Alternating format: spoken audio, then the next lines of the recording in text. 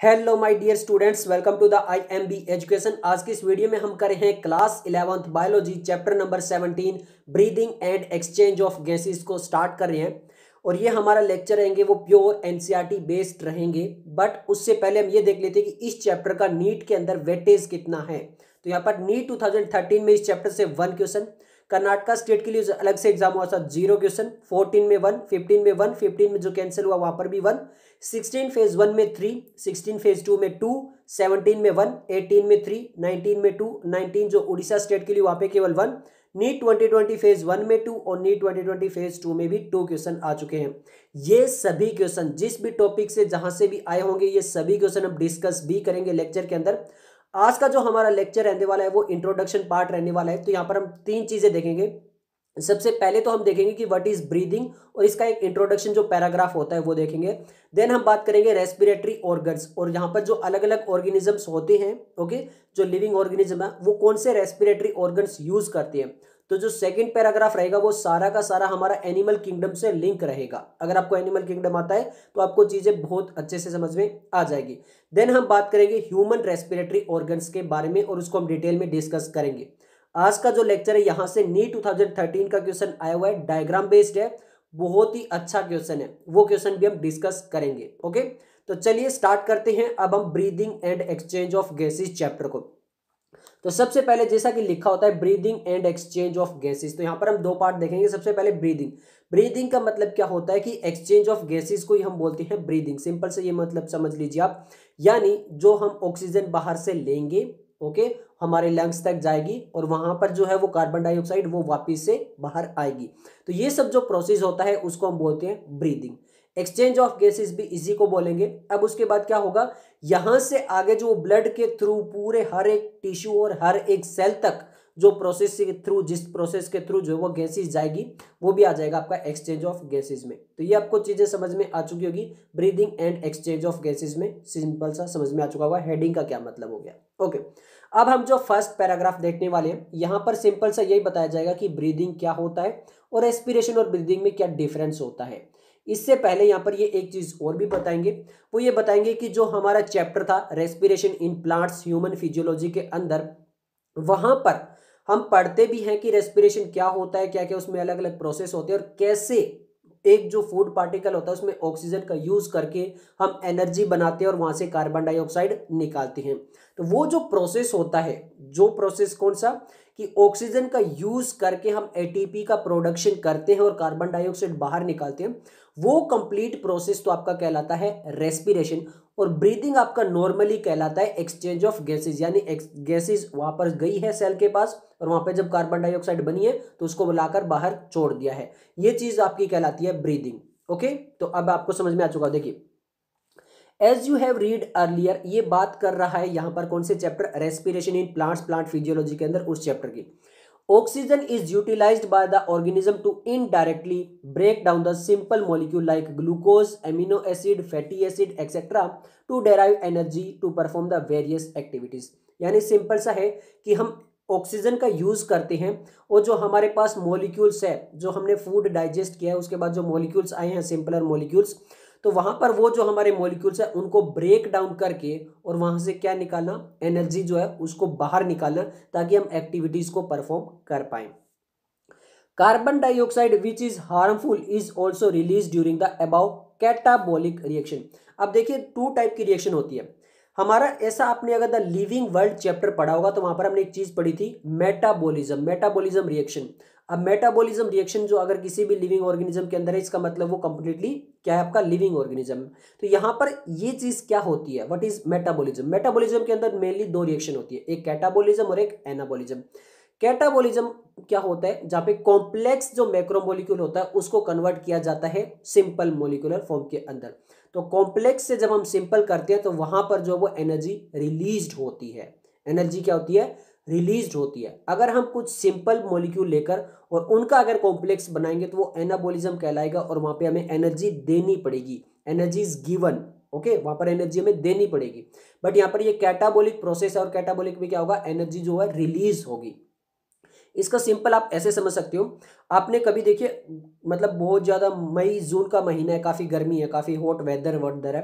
तो आप खाना खा रहे हो तो आपको और ज़्यादा गर्मी लगने लगती है। आपने कभी ये नोटिस किया होगा, अगली बार करके देखना, जब आप खाना खा रहे हो ना तो आपको थोड़ी सी हीटिंग जो बढ़ जाती है, क्यों? जैसे ही आप खाना खाते हो तो वहाँ पर कैटाबोलिक रिएक्शन बढ़ जाती है। कैटाबोलिक रिएक्शन अगर बढ़ जाती है, इसका मतलब वहाँ पर क्या रिलीज़ हो रही है? हीट रिलीज़ हो रही है एनर्जी रिलीज़ हो रही है ओके तो यहाँ पर ये जो रिएक्शन होती है, कौन सी होती है? Catabolic it is therefore evident that oxygen has to be continuously provided to the cells and CO two produce by the cells have to be release out तो ये प्रोसेस तो हमारे अंदर चलता रहेगा। हम आप भी समझते हो कि आप खाना दिन में तीन टाइम तो खाते ही खाते हो। उसके बीच में कभी स्नैक्स खा लिए, कभी कुछ खा लिए, कभी कुछ खा लिए, वो अलग है।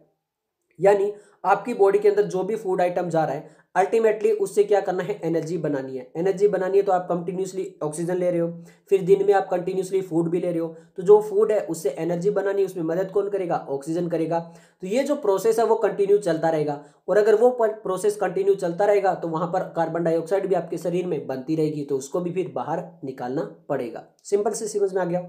Okay This process of exchange of oxygen from the atmosphere with CO2 produced by the cell is called breathing. तो यही जो हमारा प्रोसेस होता है, यानी हम ऑक्सीजन को लेकर जाएँगे और वहाँ से जो कार्बन डाइऑक्साइड बनी है, उसको लेकर बाहर आ जाएँगे। यही आपका कहलाता है breathing commonly known as respiration अब देखिए, मैं आपको बता चुका हूँ रेस्पिरेशन में ये डिफरेंस बताएँगे बट इसी लेक्चर के लास्ट में से ये बताएँगे कि रेस्पिरेशन में मेनली डिफरेंस क्या था। तो आप ये समझ लेना ब्रीदिंग का मतलब होता है मेनली एक्सचेंज ऑफ़ गैसेज और रेस्पिरेशन का होता है कि with the help of oxygen we produce energy वो जो प्रोसेस होता है, वो होता है आपका रेस्पिरेशन देख place your hands on your chest you can feel on the chest moving up and down you know that it is due to the breathing. How do we breathe? The respiratory organ and the mechanism as the following section of this chapter. Simple सा ये समझिए mainly आप क्या करते हो? आप जो respiration करते हो, वहाँ पर वो डायफ्राम का ही बस यूज़ करते हो. मतलब आप बैठे हो बैठे हो और आप एक्टिव ब्रीदिंग कब करते हो? एक्टिव ब्रीदिंग मतलब अगर जैसे योगा वगैरह करो तो आपको बोलते हैं ना कि लॉन्ग ब्रीथ इन और फिर आउट तब आप क्या करते हो? वहाँ पर लंग्स का यूज़ करते हो। अगर आप लंग्स का यूज़ करते हो तो ज़्यादा ऑक्सीजन अंदर जाती है और ज़्यादा अगर ऑक्सीजन जाती है तो यहाँ पर क्या होता है? आपको एक्टिव थोड़ा सा महसूस होता है। तो अभी भी आप ऐसा करके देख सकते हो। Deep breathe in deep breathe out इससे ऑक्सीजन की सप्लाई अच्छी होती है। और आप एक्टिव भी रहते हो। तो जब आप ब्रीथ इन करते हो तो आप देखोगे चेस्ट केविटी वो बाहर आ जाती है। चलिए ठीक है। चलिए अब हम बात करने वाले हैं रेस्पिरेटरी ऑर्गन्स के बारे में। रेस्पिरेटरी ऑर्गन्स किसके देखेंगे? एनिमल किंगडम के अंदर जो अलग अलग फाइलम थी, उनके बारे में कि उनके अंदर कौन से होते हैं, कैसे होते हैं, क्या कुछ होता है। ओके अगर आपने वो चैप्टर्स देख रखा है तो अच्छी बात है, नहीं देखा तो आपको जो है वो लिंक मिल जाएगा। आई बटन में अगर हो सकता है तो लिंक मिल जाए, वरना आप चैनल की प्लेलिस्ट पे चेक कर सकते हो और एनिमल किंगडम हमारा कंप्लीट चैप्टर हो चुका है, वो भी आप देख सकते हो टू टू थ्री आवर में कंप्लीट हो जाएगा आपका एनसीआरटी से। तो यहाँ पर हम बात करने वाले रेस्पिरेटरी ऑर्गन्स तो वहाँ पे हम अलग अलग फाइलम पढ़ते हैं एनिमल किंगडम के अंदर। कौन सी? Porifera Coelenterata Ctenophora Platyhelminthes Aschelminthes Annelida Arthropoda Mollusca Hemichordata कोडेटा ये सारी हम फाइलम पढ़ते हैं। तो यहाँ पर उन फाइलम के अंदर होते हैं अलग अलग ऑर्गेनिज्म और अलग अलग फाइलम के अंदर अलग अलग सिस्टम होता है। किसी में सेलुलर किसी में टिश्यू किसी में ऑर्गन किसी में ऑर्गन सिस्टम तो यहाँ पर उसी हिसाब से रेस्पिरेटरी ऑर्गन भी तो होंगे। समझ में आ गया? चलिए। Mechanism of breathing vary among different group of animals, depending mainly on their habitats, level of organization. Simple सा है कि वहाँ पर उनमें कौन सा ऑर्गन होगा, कैसे वो ब्रीद करेंगे तो वो दो चीज़ों पर डिपेंड करता है। किस किस पर? सबसे पहले हैबिटेट यानी वो हैबिटेट किसमें रह रही है? क्या वो पानी के अंदर रह रहे हैं? क्या वो एक्वेटिक है? या वो टेस्टियल है? वो ज़मीन पे रह रहे हैं। या वो ऐसे हैं कि दोनों जगह रह रहते हैं, कभी वाटर के अंदर रह रहते हैं और कभी टेस्टियल रह रहते हैं। ये पहली चीज़ देखी जाती है। सेकंड है लेवल ऑफ़ ऑर्गेनाइजेशन अब लेवल ऑफ़ ऑर्गेनाइजेशन मुझे शायद बताने की ज़रूरत नहीं है। वही है कि क्या केवल सेल्स हैं, क्या टिश्यू है, क्या ऑर्गन है, या फिर पूरा ऑर्गन सिस्टम है। तो इन दो चीज़ों पर डिपेंड करती है कि ब्रीदिंग कैसे होगी। चलिए lower invertebrates like sponge coelenterata flatworm etcetera exchange oxygen with CO two by simple diffusion over their entire body surface देखिए, यहाँ पर ये स्पंज क्या है? आपकी फाइलम पोरीफेरा है। सिलियंट्रेटा फाइलम हो चुकी है और फ्लैटवॉर्म आपकी कौन सी आती है? प्लेटियल मतीस। तो इस फाइलम तक लगभग क्या चलता रहता है? आपका सेलुलर लेवल और टिश्यू लेवल लगभग यही चलता रहता है। तो वहाँ पर उनके अंदर क्या होता है? आपकी डायरेक्ट डिफ्यूजन होती है। पूरी बॉडी सरफेस से, जैसे यहाँ पर ऑक्सीजन आई, यहीं से इन साइड कार्बन डाइऑक्साइड बनी, बाहर। ऐसे मान लीजिए मतलब दिखाई नहीं दे रहा था। ये देखिए, मान लो ये हमारी बॉडी सरफेस है, यहाँ से ऑक्सीजन इन कार्बन डाइऑक्साइड यहाँ से ऑक्सीजन इन कार्बन डाइऑक्साइड यहाँ से भी oxygen in carbon dioxide outside पर हमारे अंदर ऐसा नहीं होता ना, हमारे अंदर तो एक ही ओपनिंग होती है डाक बंद करके बैठ जाओ, मुँह भी बंद कर लो तो हो सकता है डेथ भी हो जाए। तो यहाँ पर ऐसा नहीं होता है बट जो लोअर इन्वर्टिब्रेट्स होते हैं, जो बहुत ही सिंपल ऑर्गेनिज्म होते हैं, जहाँ पर ऑर्गेनाइजेशन बहुत ही सिंपल होता है, या तो केवल सेल्स होते हैं, या केवल टिश्यू होते हैं। ओके? और अगर ऑर्गन वगैरह तो बहुत ही सिंपल है मतलब वेल डेवलप्ड ऑर्गन वगैरह भी नहीं है तो वहाँ पे डायरेक्टली जो वो पूरे बॉडी से, कहीं से भी जो है सिंपल डिफ्यूजन हो जाती है। अर्थवोम के अंदर क्या होता है? अर्थवोम आपका आता है अर्थ्रोपोडा के अंदर। Earthworm use their moist cuticle and insect have a network of tubes तो अर्थवोम जो होता है, उसके अंदर मोस्ट क्यूटिकल होता है। पहले हम जो है वो अर्थवोम कंप्लीट पढ़ते थे लेकिन कुछ सालों से जो वो अर्थवोम को हटा दिया है सिलेबस से नीट में क्वेश्चन वगैरह भी नहीं आते हैं। पहले हम पूरा डिटेल में पढ़ते थे अर्थवोम को एनसीईआरटी के अंदर अभी भी है। तो वहाँ पर जो है वो रेस्पिरेटरी ऑर्गन कौन सा उसके अंदर मोस्ट क्यूटिकल होता है। और इंसेक्ट के अंदर क्या होता है नेटवर्क ऑफ़ ट्यूब्स होता है, जिसे हम ट्रेकियल ट्यूब्स भी बोलते हैं। ये ट्रेकियल ट्यूब्स वाला जो सिस्टम होता है, ये हमने कॉकरोच के अंदर भी पढ़ा था और अच्छे से जो रेस्पिरेटरी ऑर्गन वगैरह थे, उनके बारे में डिस्कस भी किया था।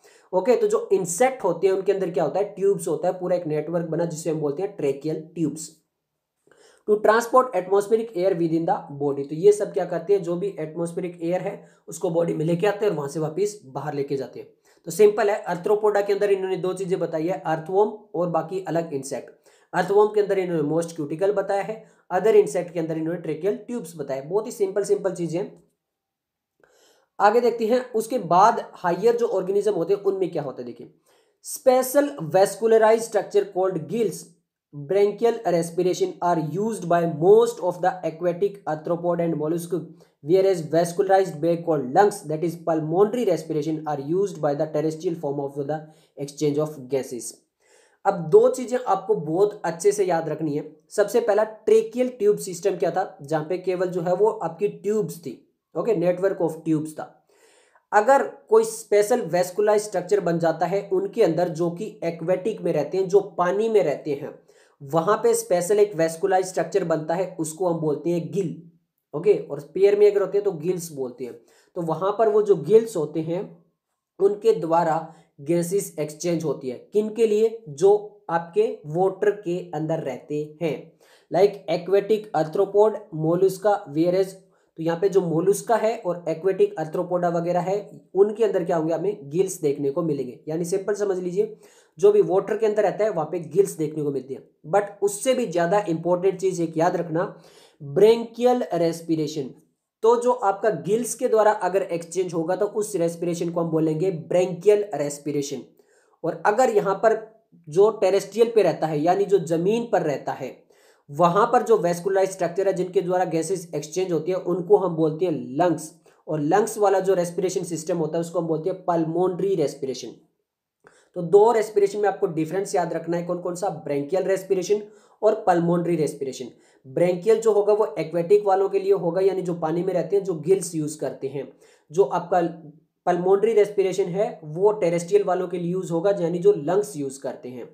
लिखा हुआ देखिए are use by the terrestrial form for the exchange of gases तो लंग्स टेरेस्ट्रियल वालों के लिए और गिल्स एक्वेटिक वालों के लिए। ओके यहाँ तक हमने बात की इन वर्टिब्रेट्स के बारे में। अब वर्टिब्रेट्स में क्या होगा, देखिए among vertebrates fishes use gills क्योंकि फीसिस जो होती है वो पानी में रहती है तो एक्वेटिक है तो वो क्या यूज़ करेगी? गिल्स यूज़ करेगी, यानी ब्रेंकियल रेस्पिरेशन यूज़ करेगी। Whereas amphibians reptiles birds and mammals respire through the lungs इसके अलावा जो एम्फीबियंस रेप्टाइल्स बर्ड्स और मेमल्स हैं, वो लंग्स यूज़ करते हैं। अब आप कहोगे कि जो एम्फीबियंस होते हैं, वो तो वाटर के अंदर भी रह सकते हैं और वो टेरेस्ट्रियल पर भी रह सकते हैं। तो क्या केवल वो लंग्स यूज़ करेंगे? जी नहीं, देखिए। The amphibian like frog can respire through their most skin cutaneous respiration also.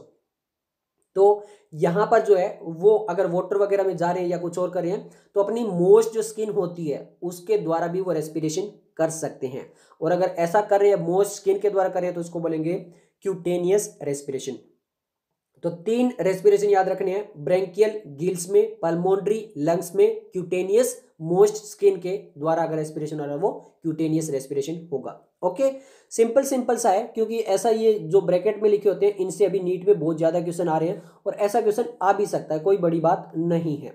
चलिए, अब हम बात करने वाले हैं ह्यूमन रेस्पिरेटरी सिस्टम के बारे में। तो यहाँ पर हम वो पूरा नेटवर्क देखेंगे। आपको थोड़ा सा बता देता हूँ, यहाँ पर थोड़ा समराइज करके बहुत आसानी से आपको बता देता हूँ। थ्री में भी हम इस चीज़ों को देखेंगे विजुअलाइज करके।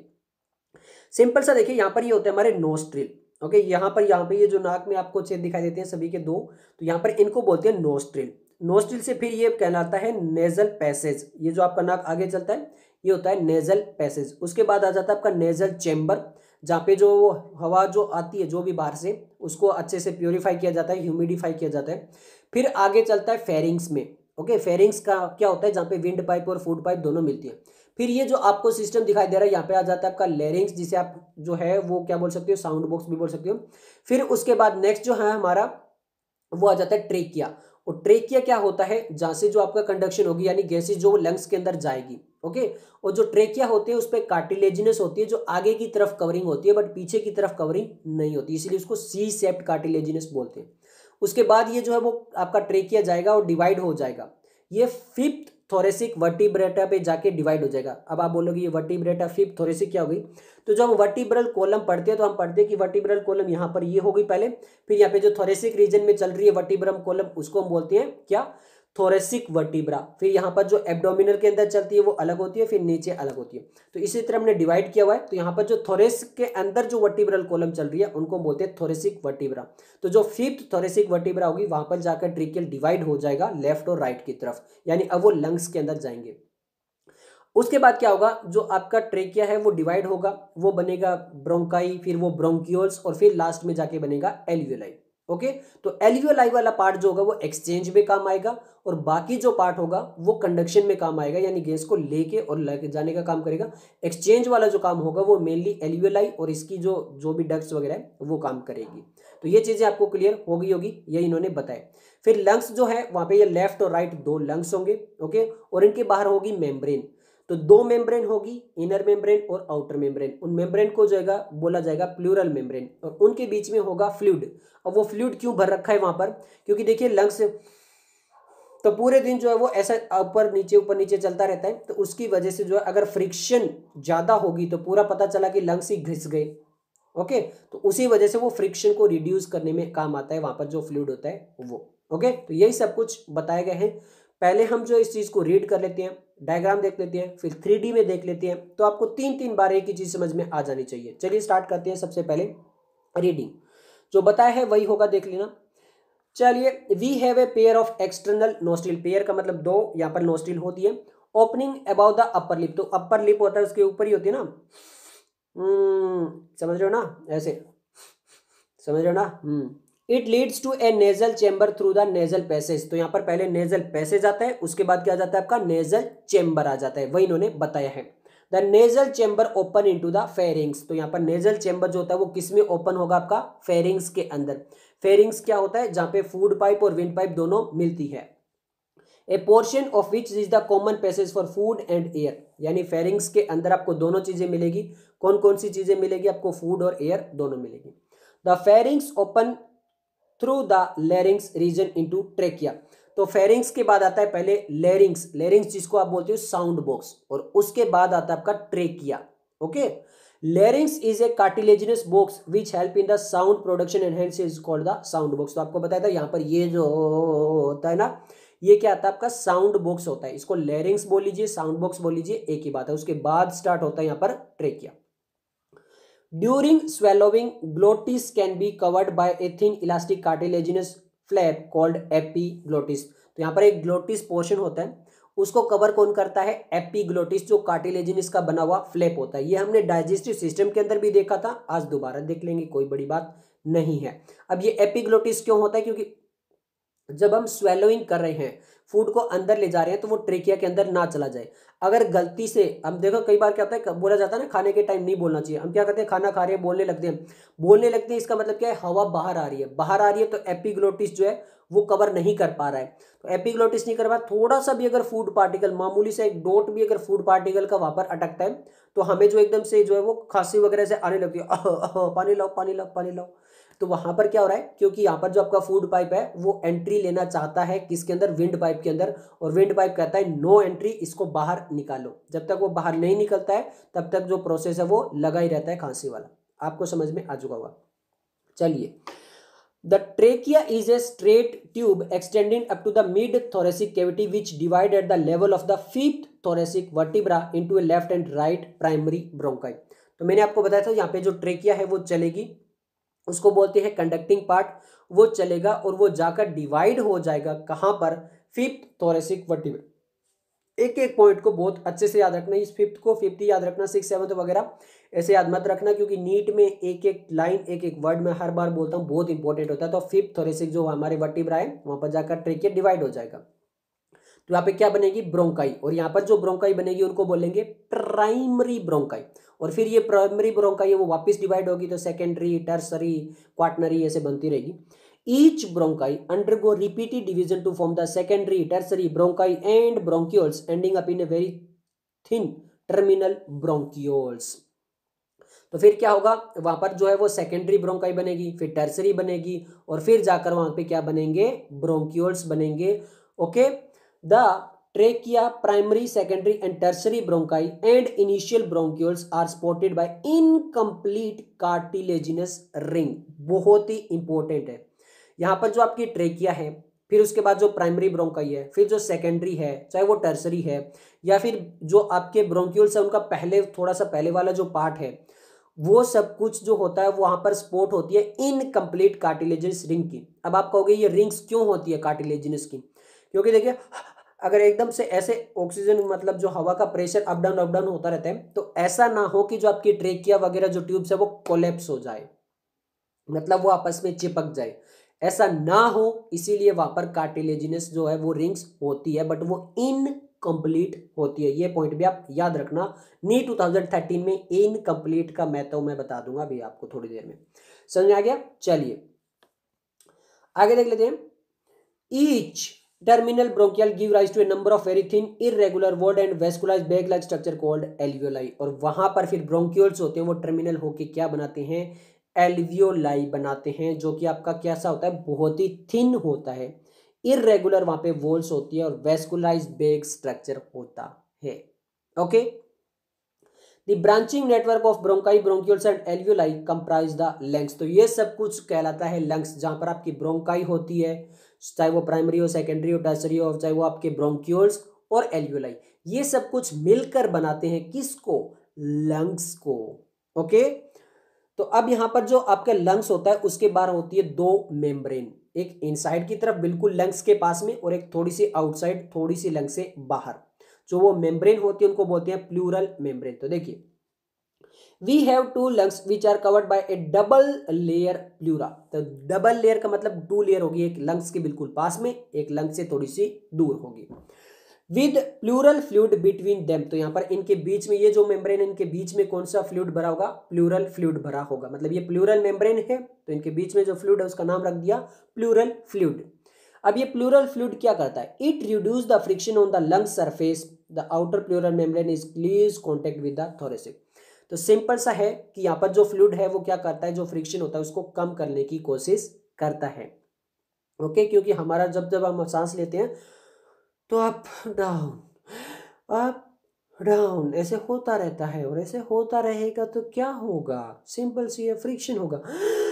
डाउन डाउन डाउन और उससे क्या होगा? फ्रिक्शन होगा। फ्रिक्शन होगा तो पता चला लंग्स ही घिस गए हैं। अब क्या करें? लंग्स से फट रहे हैं। समझ में आ रहा है? जैसे टायर फट जाते हैं।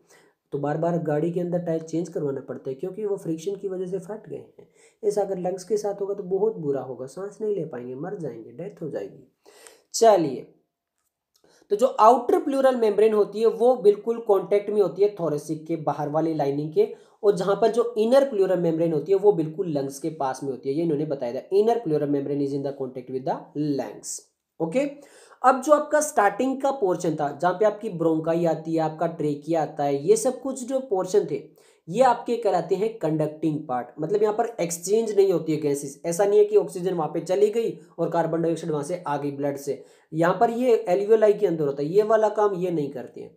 The part starting with the external nostril up to the terminal bronchioles constitute the conducting part, whereas the alveoli and their ducts form the respiratory or exchange part of the respiratory system. Simple सा चीज़ थी समझ में आ गई होगी यहाँ पर ये बताना चाह रहे हैं कि यहाँ पर एक्सचेंज ऑफ़ गैसेज नहीं होता है एक्सचेंज ऑफ़ गैसेज केवल और केवल एल्यूलाई या फिर एल्यूलाई की डक्ट्स के अंदर होता है उस पार्ट को हम बोलते हैं एक्सचेंज पार्ट बाकी तो केवल ऑक्सीजन आ रही है कार्बन डाइऑक्साइड जा रही है तो वो कहलाता है आपका कंडक्टिंग पार्ट सिंपल समझ में आ गया?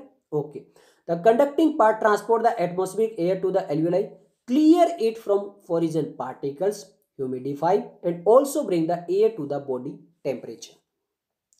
तो यहाँ पर जो आपका कंडक्टिंग पार्ट है, वो क्या करता है? पहले तो वो ट्रांसपोर्ट का पूरा काम करता है एवियोताई तक ला के देता है।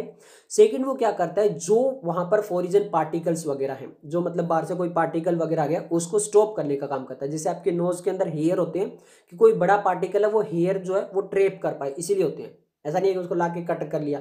तो ये आपकी नेचुरल जो भी चीज़ें होती है, वो कुछ ना कुछ सोच समझ के बनाई होती है। तो वहाँ पर वो नोज़ के अंदर जो है रहते हैं, वो ऐसे भाई कोई पार्टिकल आ रहा है, उसको वहाँ पर ट्रैप कर लिया, इसीलिए होते हैं।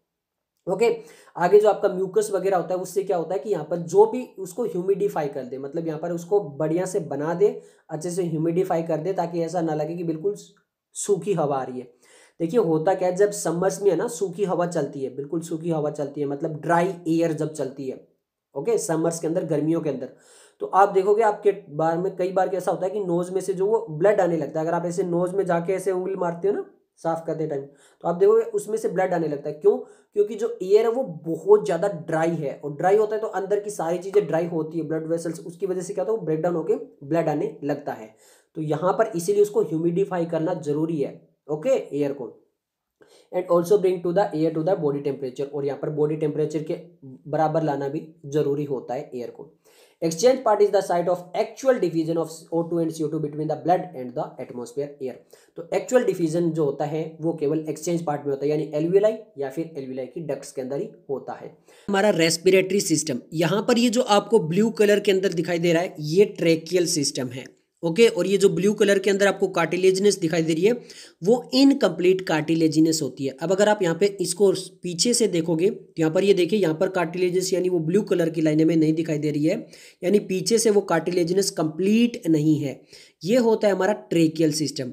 अब यहाँ पर देखिए, इसके दोनों तरफ़ हमें दिखाई देंगे लंग्स, ओके? यहाँ पर ये लेफ़्ट हो गया और ये राइट हो गया। यहाँ पर इसके बाहर आपको छोटी छोटी ये जो मेम्ब्रेन दिखाई दे रही है येलोविस कलर में, ये होती है हमारी प्लूरल मेम्ब्रेन। देखिए आपको येलोविस कलर में मेम्ब्रेनस लाइक ये स्ट्रक्चर दिखाई दे रहे हैं। यहाँ पर इनके बाहर पूरा मेम्ब्रेन दिखाया गया, प्लूरल मेम्ब्रेन, और उनके बीच में दिखाए गए हैं आपको लंग्स। ओके? और ये जो आपको रेड रेड में दिखाई दे रहा है डोम लाइक स्ट्रक्चर ये है आपका डायाफ्राम ओके okay? तो ऐसा कुछ होता है हमारा लंग्स डायफ्राम और ट्रेकियल सिस्टम और इनके बाहर जो लंग्स के बारे में वो प्लूरल मेम्ब्रेन कुछ ऐसे अटैच होती है.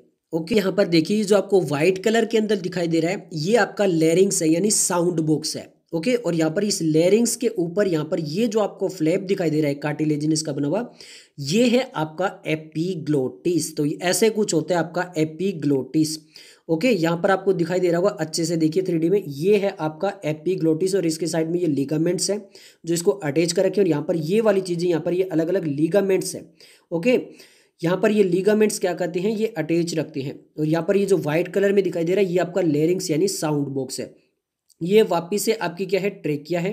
पर मुझे यहाँ पर यह बताना है कि जो ट्रेकिया है, वो आगे जाके ऐसे डिवाइड हो जाता है। अब देखिए, एक लंग्स की शेप है, उसके अंदर देखिए, ट्रेकिया कैसे डिवाइड होता है। ओके यहाँ पर ये जो है, आपको केवल ब्रोंकाई जिसमें आपकी प्राइमरी ब्रोंकाई और आपकी सेकेंडरी टर्शरी और ब्रोंक्यूल्स दिखाई दे रही है। यहाँ पर एल्वियोलाई जो है वो आपको दिखाई नहीं दे रहे हैं। यहाँ पर ये पूरा ऐसे जो है वो ब्रांचेस होती है और यहाँ पर ये जो आपको ग्रीन येलो रेड वॉयलेट वगैरह कलर में दिखाई दे रही है, ये पूरा सिस्टम जो है वो क्या है? ब्रोंकाई और ब्रोंक्यूल्स अब अगर आप ध्यान से देखोगे, हम इसको ओ जूम करते हैं तो यहाँ पर भी आपको कार्टिलेजिनस हर एक में देखने को मिल जाएगी। क्यों? क्योंकि यहाँ पर भी जो होती है वो इनकम्प्लीट कार्टिलेजिनस प्रेजेंट होती है, ताकि ये जो पूरा कंडक्टिंग सिस्टम है, ये कोलेप्स ना हो जाए।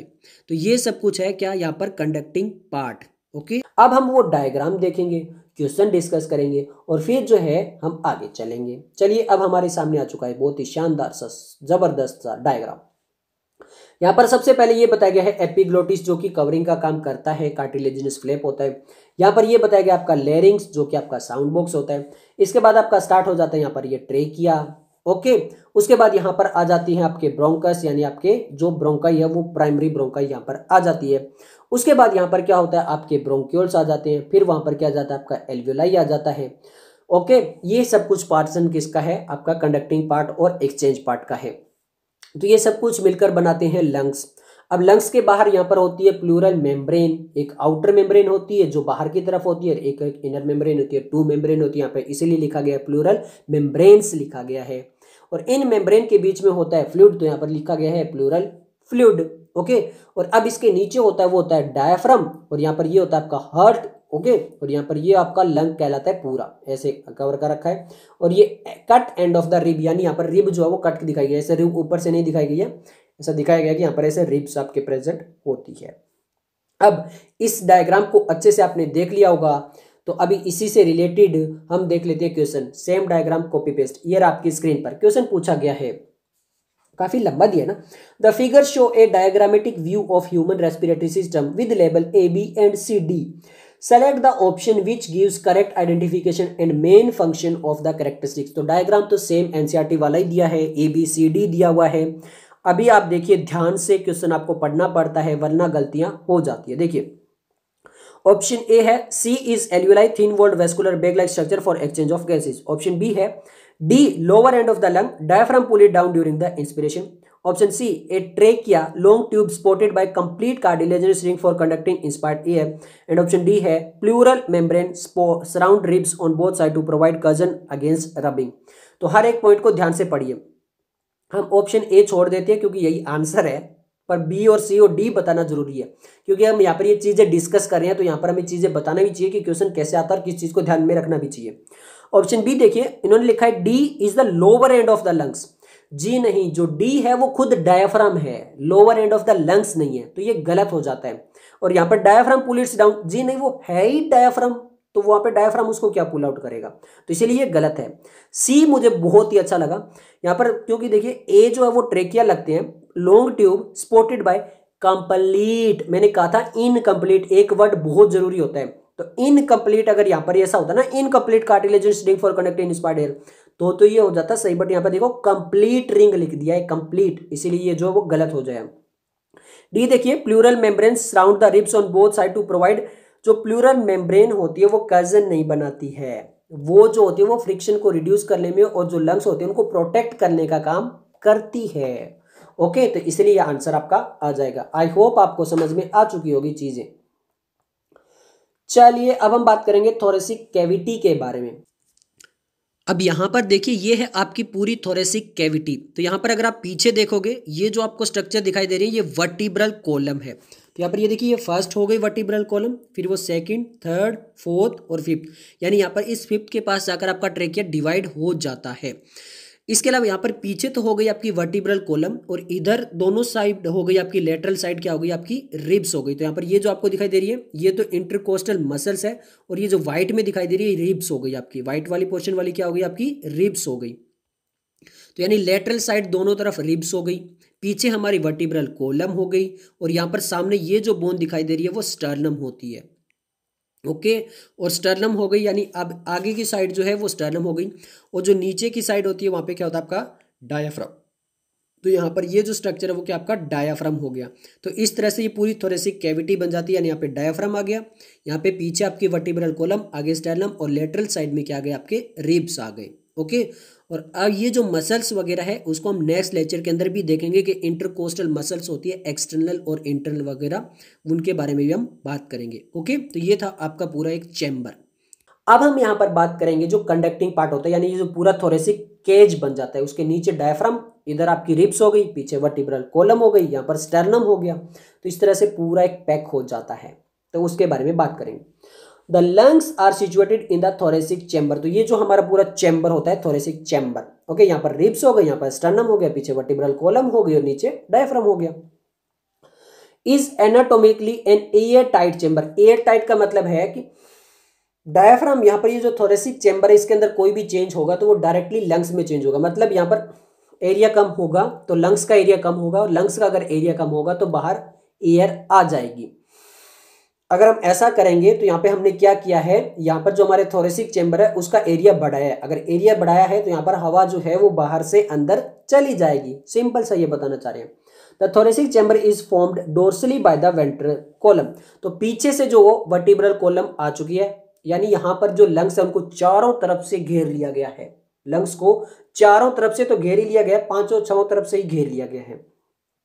तो देखिए वेंट्रली बाय द स्टर्नम तो पीछे आ गई वर्टिब्रल कोलम यहाँ पर वेंट्रल जो आ गई वो आ गई आपकी sternum laterally by the ribs यहाँ पर ये लेटरल साइड में क्या आ गई आपकी रिब्स आ गई lower side of the dome shaped diaphragm और नीचे की साइड पे क्या आ गया आपका डोम शेप्ड डायाफ्राम ऐसे डोम शेप्ड ऐसा होता है ना, ऐसे, गुंबद सा, वो क्या हो गया आपका डोम शेप डायाफ्राम हो गया। The anatomically setup of the lungs in thoracic is such that any change in the volume of the thoracic cavity will be reflected in the lungs pulmonary cavity यानी यहाँ पर ये ऐसा setup बना गया है कि अगर थोरेसिक के अंदर कुछ भी चेंज आता है यहाँ पे एरिया बढ़ता है तो लंग्स का एरिया बढ़ेगा एयर अंदर चली जाएगी। ये घटता है तो लंग्स का एरिया घटेगा यानी जो भी यहाँ पे इफ़ेक्ट आएगा वो डायरेक्टली लंग्स में, में दिखाई देगा। Such an arrangement is essential for breathing and we can not directly alter the pulmonary volume तो ये बहुत ज़्यादा ज़रूरी है ब्रीदिंग के लिए एक्सचेंज ऑफ़ गैसेज के लिए। अब यहाँ पर देखिए, मैंने आपको बताया था कि यहाँ पर ये आपका अलग अलग जो है वो रेस्पिरेशन में डिफरेंस बताएँगे। देखिए respiration involve the following step respiration के अंदर अलग अलग स्टेप्स होते हैं, उसके अंदर ब्रीदिंग उसका एक पार्ट है। देखिए ब्रीदिंग और pulmonary ventilation by which atmospheric air is drawn in and CO two rich alveolar air is released out यानी सबसे पहले क्या होता है, जो ऑक्सीजन उसको अंदर लो और वहाँ पे जो कार्बन डाइऑक्साइड है, उसको बाहर निकालो। Second diffusion of gases O two C two across alveolar membrane जो एल्वुलाई है, वहाँ पर क्या करो? ऑक्सीजन जो है उसको एक्सचेंज करो ओके ऑक्सीजन को ब्लड के अंदर लेके जाओ और कार्बन डाइऑक्साइड को ब्लड से बाहर लेके आओ। Transport of gases by the blood अब यहाँ पर जो गैसेज है, उनको ब्लड के थ्रू पूरे हर एक सेल तक, हर एक टिश्यू तक पहुंचाओ। जो लेग का टो है, वहाँ से लेकर जो हैंड की ये फिंगर का ये नेल्स है इस सेल्स तक जो है, वहाँ पर हमें पहुंचाना पड़ेगा। तो यहाँ पर diffusion of O two to blood between the blood and tissue और उसके बाद क्या करो, यहाँ पर यहाँ पर जो आ चुका है, जिस टिश्यू के बाद, वहाँ पे क्या करो ऑक्सीजन इस टिश्यू को दे दो, इस सेल को दे दो और वहाँ से क्या करो, आप सीओ टू उठा लो। अब वो जो O2 आ चुकी है, उसका क्या करो? Utilization of O2 by the cells to catabolic reaction catabolic आपको समझ में आ जाना चाहिए एनर्जी बनाएँगे and resultant release of CO2 और वहाँ से CO2 को बाहर निकालेंगे। तो ये पूरा प्रोसेस आपका रेस्पिरेशन कहलाता है। इन्होंने साफ़ साफ़ बता दिया है। ब्रीदिंग उसका एक पार्ट है, जहाँ पे गैसेस एक्सचेंज होती है। मेनली जो पोजिशन होती है, वो आपकी रेस्पिरेशन कहलाती है। देखिए, लिख भी रखा है। Cellular respiration as dealt in chapter 14 तो रेस्पिरेशन इन प्लांट्स वाले के अंदर जो भी सेलुलर रेस्पिरेशन के अंदर क्या क्या चीज़ें होती है, वो चैप्टर 14 के अंदर हम जो डिस्कस भी कर लेते हैं। तो ये सब कुछ यहाँ पर बताया गया है और ये सब कुछ था इस वीडियो के लिए। अगर आपको ये वीडियो पसंद आए तो लाइक कीजिए, दोस्तों के साथ शेयर कीजिए। मिलते हैं जल्दी नेक्स्ट वीडियो के साथ। तब तक के लिए धन्यवाद।